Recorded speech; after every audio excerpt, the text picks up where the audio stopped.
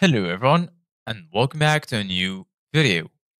In this video, I'm gonna show you guys how to enable ActiveX on Microsoft Edge. So if you guys want to learn how to do it, just follow the steps that I'm gonna show you.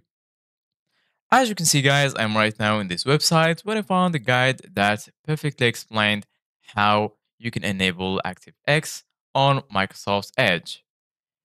So right here I found how do I enable ActiveX controls on my edge. You can choose the level that you want, enable or prompts assigned ActiveX control by going to security settings and then selecting download signed ActiveX controls. Open security settings by selecting run ActiveX controls and plugins, then run ActiveX controls and plugins. If you want to install an ActiveX control from a website, save the file to your computer and then install it.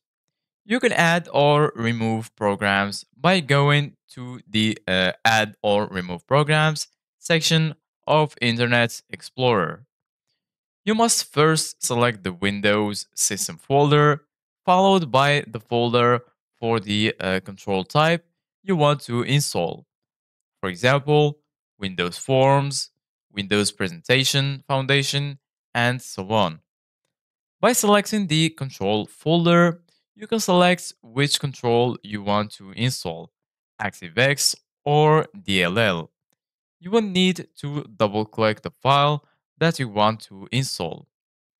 To install an ActiveX control, go to the Internet Explorer notification bar and click Add or remove program. Select the Windows system folder if you want to remove a specific control and then click on the control button if you want to remove a specific type of control. Navigate the control folder and choose the folder that you want to remove the control from. Double click a file is the only way to remove it. So this is it guys for today's video. Thank you guys for watching. See you guys in the next video.